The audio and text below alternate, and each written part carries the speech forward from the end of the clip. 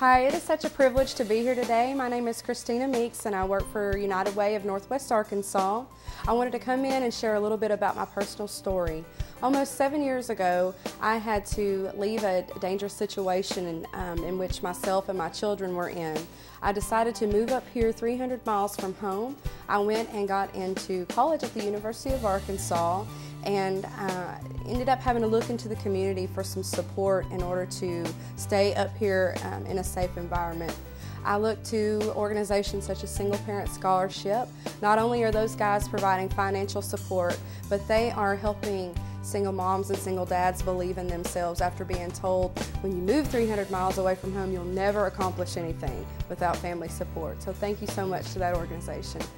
Ozark Guidance diagnosed my oldest daughter's disability when she was four years old. She's 10 now. She's got such a great promising future ahead of her because of um, that organization there. Community Clinic, one of our neighbors right here in Springdale, has provided pretty much all of our, our medical uh, needs here. They're not a free clinic. They do expect us parents to pay something and I appreciate that about what they're doing there.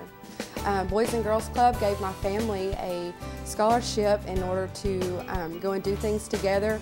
My oldest daughter talked me into being her basketball coach and we ended up getting first place in all of the third grade girls in Washington County.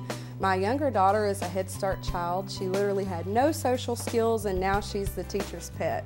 So again, uh, without the support of United Way programs, I don't know where my family would be today.